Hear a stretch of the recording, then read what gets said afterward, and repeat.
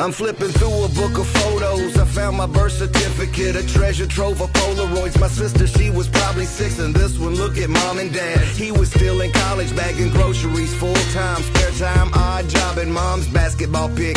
State champ four times, and who's that goofy Cub Scout? We won't talk about mine.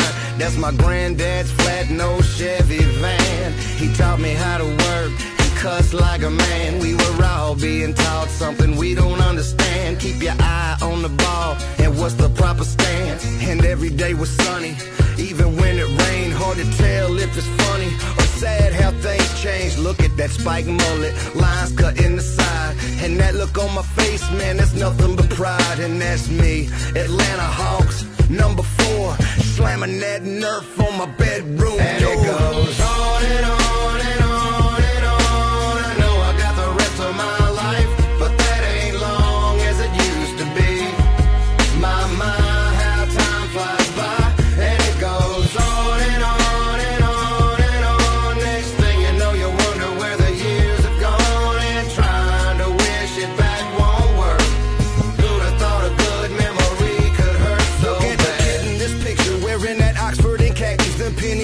with dimes in them. My thoughts drifting back. I remember feeling invincible. The future was mine, ready to take on the world. But those were simpler times.